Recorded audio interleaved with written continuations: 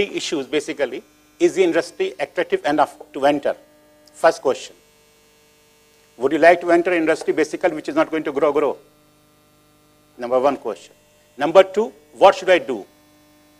What is, should be my strategy? And third, how should I do it? That's the operational excellence. There are three different aspects of the business. Now, first I will take industry attractiveness. What is our objective? We want to build a profitable business on a long-term basis, which is perpetually growing. And success is dependent on two things. One, how attractive is the industry, what is the growth rate, and what strategies are we deploying to run the business. You see this chart. Indian per capita consumption of furniture is just 10 US dollar, while European is close to 400. Global average is about $60. With Indian income rising, this industry is going to grow for next 30, 40 years. So it's the right industry to be in, whether you are in kitchen or in the furniture or something else. But furniture industry will keep on growing till India reach the global average. And fortunately or unfortunately, kitchen constitute about 40% of furniture market. So you're in the right space. Make the right investment of time, effort, and money. Now let's go to the local position. This is the report, the top one. Does it have the, you see this one, top one. By 2025, there will be about 128 million houses. Assume that it takes kitchen life is 10 years we are talking of a kitchen of more than 1.25 crore kitchens per year. And this is not the report which you have taken from anywhere. This is the report of the McKinsey and Company. Price Waterhouse also says the same thing, more or less, but different figure. That means we are in the right industry to be. Is it clear that we are in the right industry or not?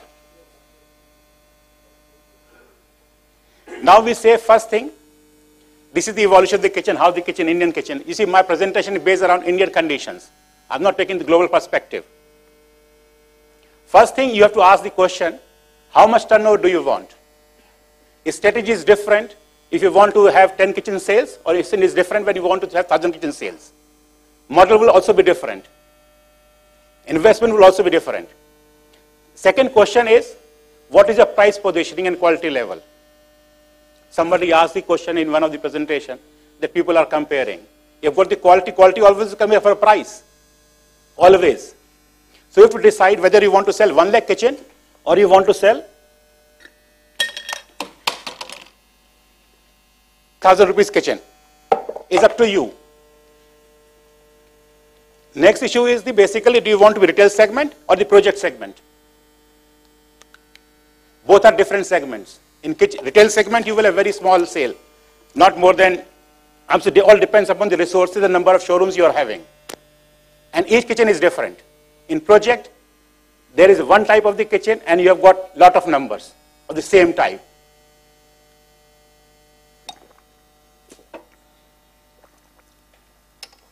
Another question is whether you want to be manufacturer or assembler.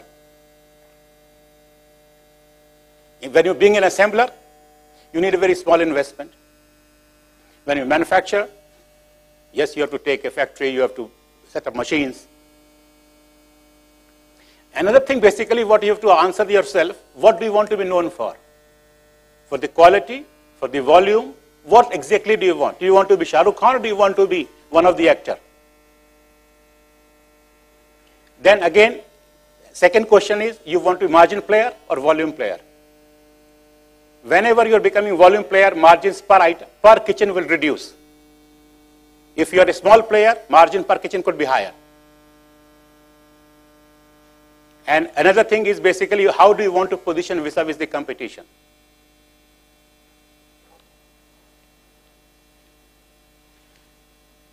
Now, how kitchen business is different? Most of the people do it, I'm saying, they don't get it right. Kitchen business is completely different. There is a very high level of customization. It's like getting a shirt stitched. I'm saying each person is different. They are ethical.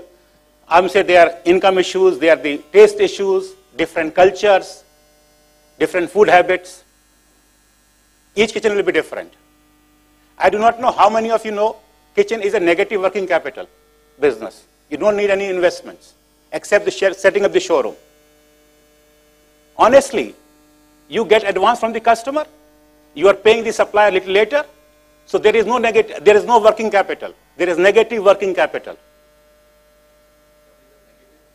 Negative means that basically you are not investing anything from your pocket except the showroom.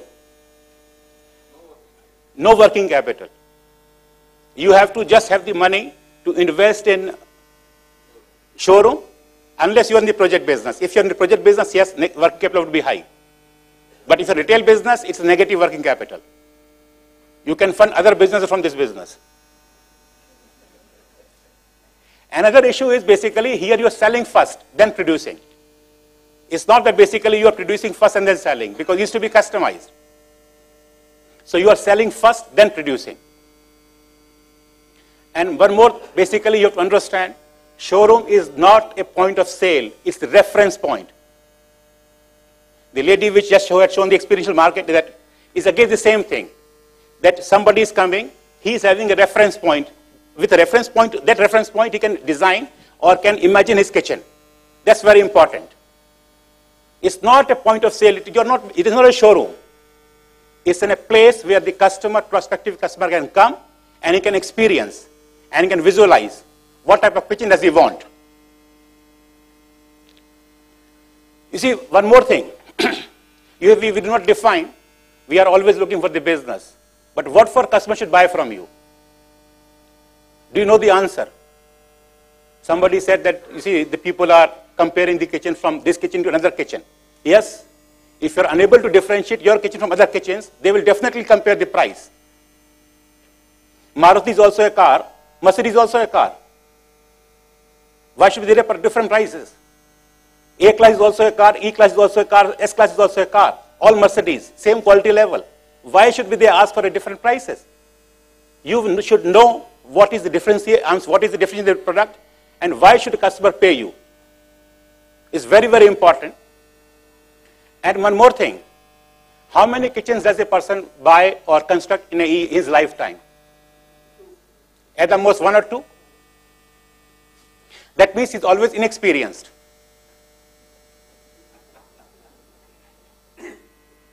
And you should understand his requirement. He will become, he will gain experience, his income will grow, and he will also become aged. That means his requirement will keep on rising. Unless we know what are his requirements, always you will have a problem. And always try to sell him the next level of the ammunition, not the same one. You see, many of us would have bought AC without a remote 10 years ago, 15 years ago. Today we'll buy. It's no more a luxury, it's a part of the requirement. Thereafter, one more thing.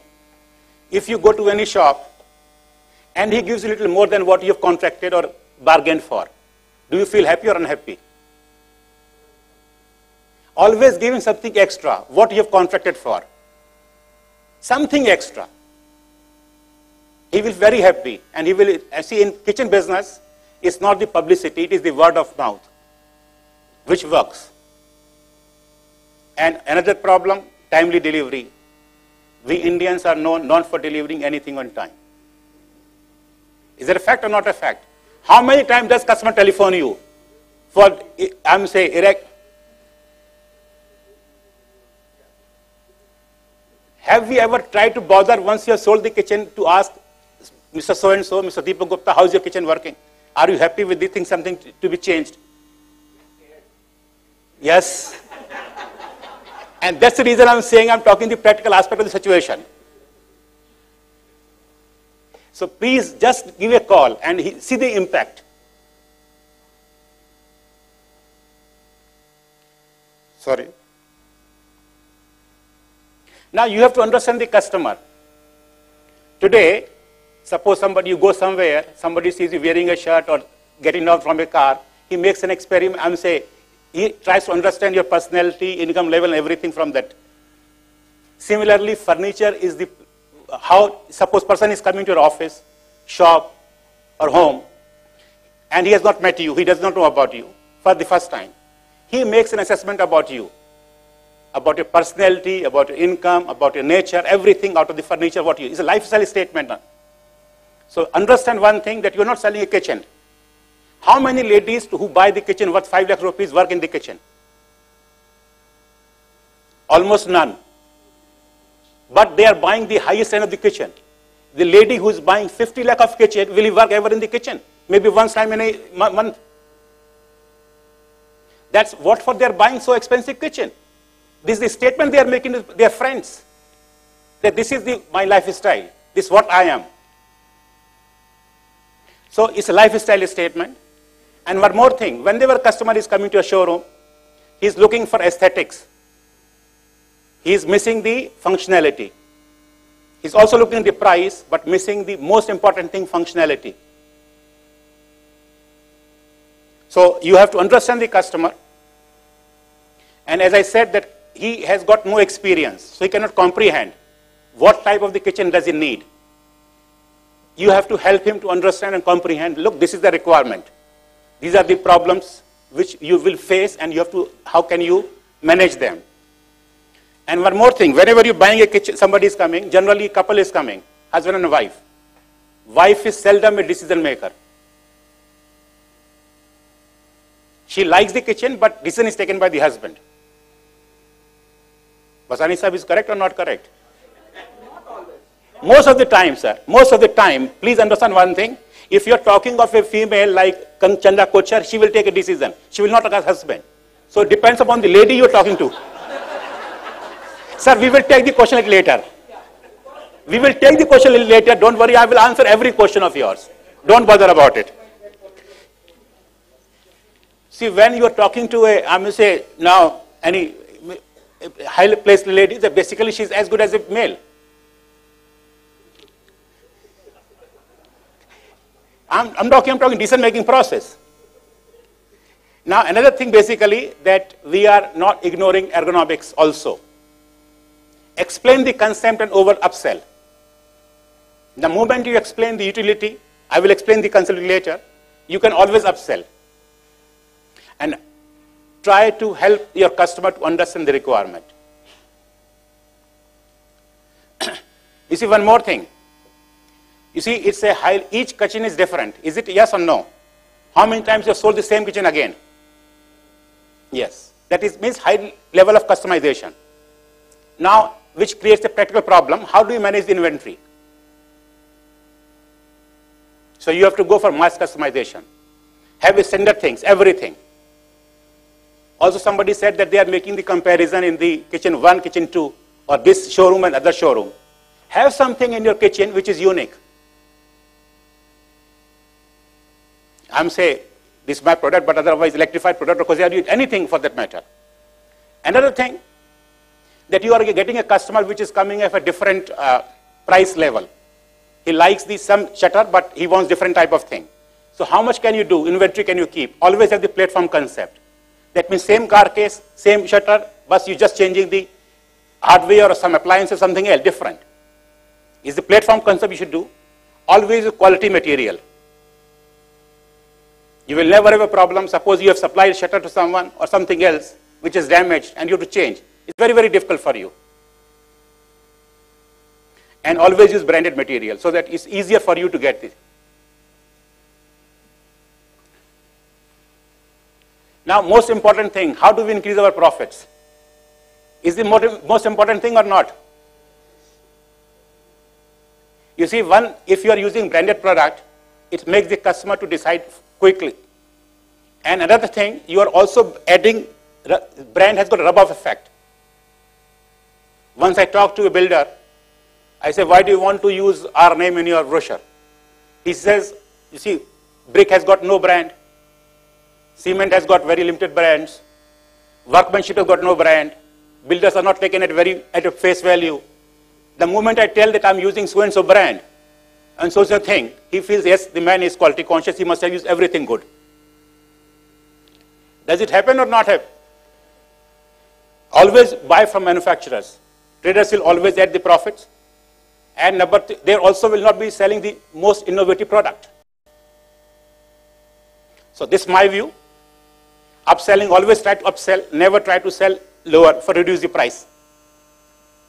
Blend design with functionality. Always. Differentiation is must. You can use different designs, suspended cabinets, or different sliding system in the top cabinetry. Use large drawers. Instead of using 600 mm drawers, use 900 mm carcasses, and you see the difference in your cost. Your hardware will reduce, your carcass will reduce, your shutter size will reduce. And be seen as a trendsetter. Always. And in kitchen business, word of mouth publicity works. Nothing else will work. See, the, I was talking about large drawers. You see, here, here is the drawer. There is not even a just single shutter. And again, there you see, see the drawer, wide drawer, 1200 mm. And again, this is another one, high front shutter. Now moving to our operational aspects.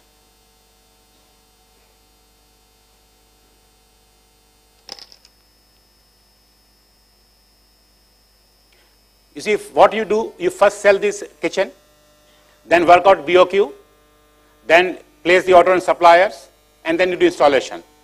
There are two different ends, back end and the front end. Aligning both of them is a must for success. Otherwise, you cannot have timely deliveries. Whichever software you use is up to you. Now, when you are doing the kitchen designing, there are certain prerequisites like the hardware fitting you need, you need cabinetry, you need countertop, you need appliances, you need sink. But the most important thing, the emotional aspect of that, is the functionality, aesthetics, design and ergonomics, efficient use of space. Space is becoming most expensive today. In some of the areas, I would say the its rate is about 50,000 per square feet also. So each square feet which you save or create additional space, room within the room, is always appreciated. Fourth thing which is becoming, you see, earlier there were only three things. It has got electrical power connection also, so nothing, just plug in and you use it. One thing, the one use and same arms a draw another use. Use of sliding system. Now I was talking ergonomics. You see, what is the general height of a Indian lady and what is the height of a European lady? Yes. Yes. Sir, generally average Indian height, I'm say female height would not be five, I'm say average would be 5.1, 5.2, I'm say. Yeah, yes. As, so it's very, very difficult for a person to. And if you do not hang it high, then there is no space between the top cabinet and base cap unit. So you should understand that how can you make use of. If you're using uh, lift ups, this is the problem. You have to lift up yourself also. If you're using shutter, then you have to bend backward. Or you're reducing the space in the top cabinetry. So you, now new system have come using the sliding. You see this is the one and another use. This is also. Now it is hiding the appliances as well. This is the design by Philippe Starck, different designs. Now see another thing. Kitchen is becoming a part of the living room. It's the same, this and this both are the same. Now here it is basically entertainment. Here you can keep the crockery, whatever you want to keep it. And you just change the view.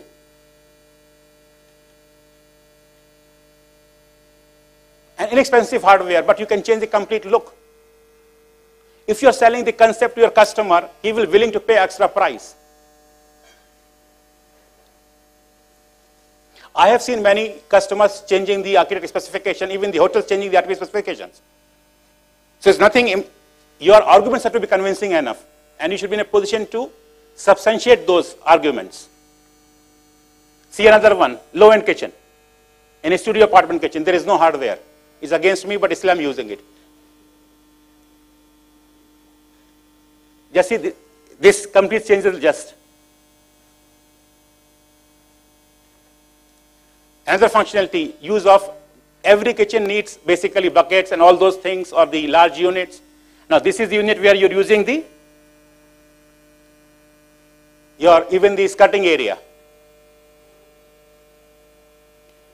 Under the sink area. This is efficient use of space. The moment you start explaining the concept to the customer or the work, that he will understand what you're saying. Another thing, see is two ladies.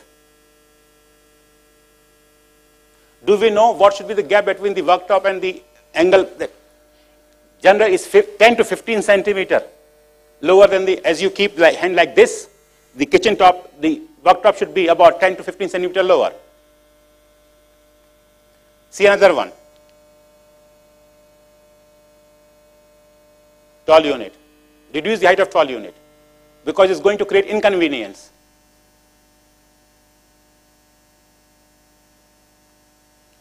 Another one. If you have got top cabinetry, how to take the things out? Use sliding shelves.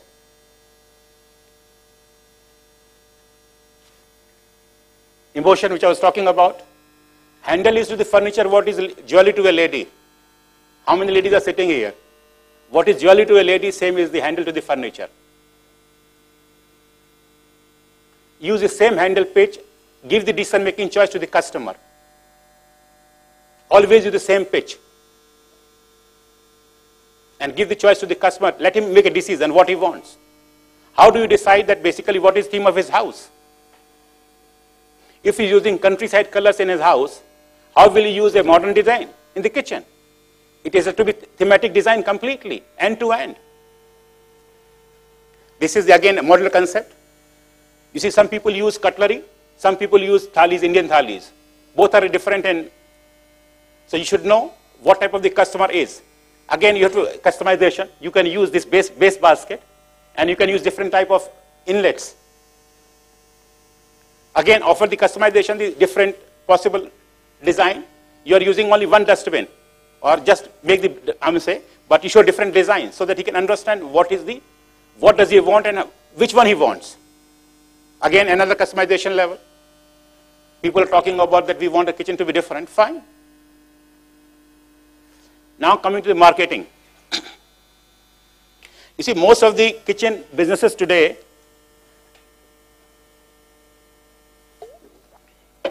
are very localized. I do not know why people use different magazines for, I'm sorry, Gupta ji. I'm saying you should go for localizing in case of kitchen. There is no point unless you are you, a national brand or you have national aspirations or you have national network. There is no point in going for the magazine pricing. Just go for the local pricing. Go for the hoardings, go for the newspaper pricing, local newspaper, have interface with the architect, match two or four pages brochure, you see, you must have supplied the kitchens to some of these celebrities. Use their engrossing statements. That will work as one of the best PR. And again, I'm saying timely delivery and post-installation feedback is a must. If you do that, and everyone will say this is the, and always use quality material. And yes, you keep on, you, you keep on making the efforts. You see, there is no one who has not done a mistake. So let's keep on learning constantly, one after the other. Thank you.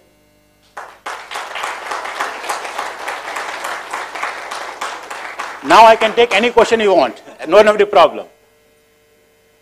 Yes.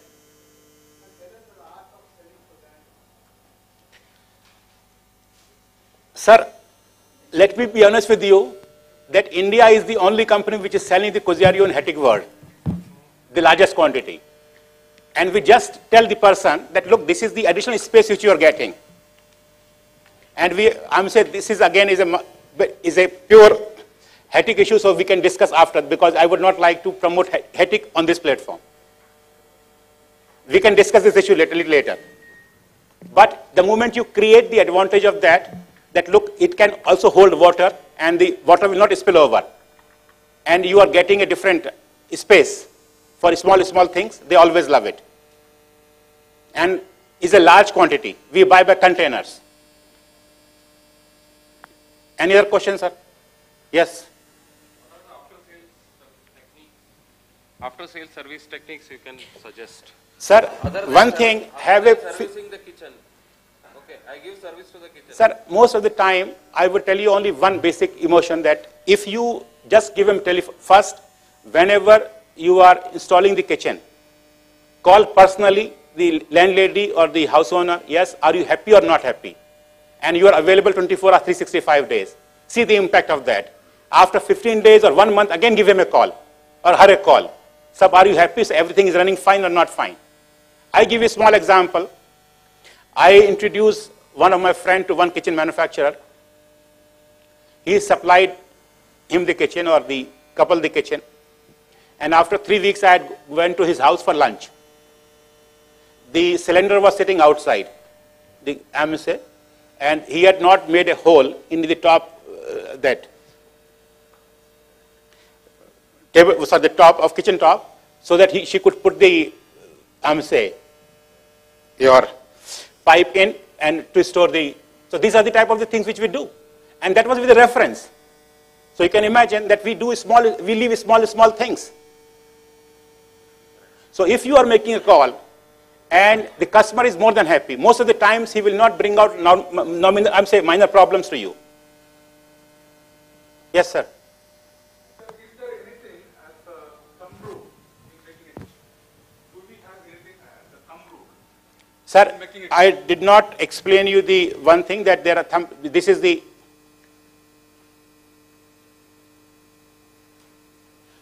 yes. You see, say this one. See, this design, uh, the first thing you store the food items, then you process it, then you cook it, and then you clean, and then cutlery. This is how the thing should move. This is the basic rule. Number two, you will have to decide what type of, how much price customer is willing to pay, and then adjust your offering accordingly. There is no point in offering a Cosario when the customer is buying a for 100,000 rupees kitchen. 1 lakh kitchen you cannot offer Cosario. There is no point in talking about it. So you should know what is the type of the customer. So you have to follow this design, whichever way you want to do, and have to customize it. Each, each is different one. Either you have got mass production and you have a single kitchen, this, this, this, this, take this is the price. If you are not customizing the kitchen, there cannot be any except following the basic norms. That is food storage, processing, cooking, cleaning agents, and cutlery. And there is one more thing, like just want to know. Uh, which one? Yes, sir. Okay. Can you hear? Okay, fine. See, there's a gap between the shutters, right? Some people keep it as 2 mm or some as 3 mm. What exactly it is like? I mean, where exactly we Sir, should? whatever you do, is your front should always have the same uniform gap. And that's the reason basically everything has got the uniform, I'm say, the three-way adjustment for everything, whether talking of drawer or talking of hinge. That's the reason the front should always look the same. Whether you keep 1 mm gap or 2 mm gap, 5 mm, doesn't make a difference. Have the same gap uniformly. The front should look uniform. Yes, sir.